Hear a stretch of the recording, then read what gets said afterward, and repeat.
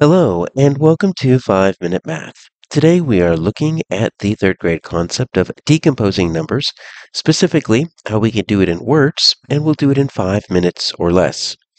So we spend a lot of time in third grade thinking about how we can decompose numbers in expanded form and expanded notation, but sometimes we need to do it in words.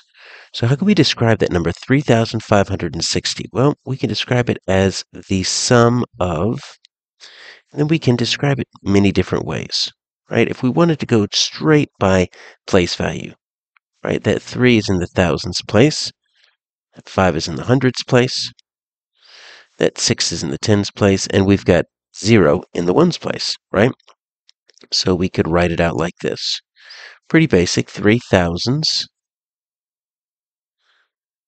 And we'd probably want to put that comma there, just like we've got this comma here separating that period. And then we would just write out in words five hundreds.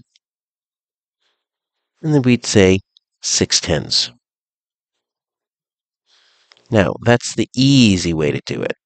You know sometimes that we do it in different ways. How can we rename this six tens in a different way?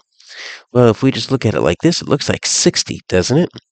So 60 what? Well, those would be 61s. If we want to describe this as 61s, we think about where that last digit is, is in the ones place. So we could say it's the sum of three thousands still. We could say it's still five hundreds. But we could now say, instead of six ones, we could say it's the sum of 60 ones because six tens right, is the same as 60 ones. If I were to draw 10 rods right here, six of them, right, we know that each of these can be broken down into 10 ones. So 10, 20, 30, 40, 50, 60. Another way to do this would be to take a look at this right here. See that 56 right there? 56 what? Well, once again, 56 and then the last digits in the tens place. So we could draw it out like this three thousands. And we could say 56. want to hy- hyphenate that. And those are 56 tens because that last digit is in the tens place. Now, how do I know that that works? Well, 10 tens, right? We know that this equals a 100 block, right?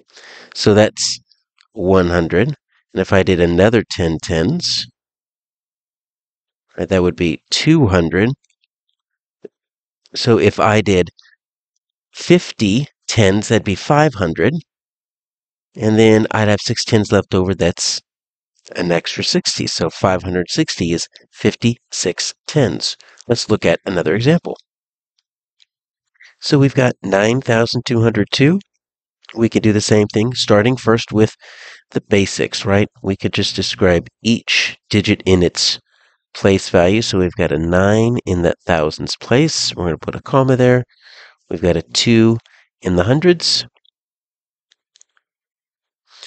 And then we'd want to put 2, and not just 2, but 2 what? What's the value? Two ones. Okay? But how do we get a little bit interesting here? Well, Look at that 20 right there. That 20, right, goes to that tens place right there. So we could say nine thousands. We could say 20 what? Well, 20 tens, because it goes to that tens place, right? Because 10 tens makes a 100. So we need 20 tens to make 200. And that's what this is worth, right? This is a 200. And then I still need the two ones. Or we could take a look at this 92. We could say 92, and then it goes to the hundreds, because 10 hundreds makes a 1,000, 20 hundreds make 2,000, all the way up to 9,000.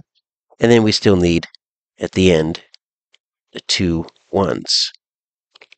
But if I were to take 92 hundredths, right, it goes right here to that hundred spot. That's going to be the same as 9,200 is 92 hundredths.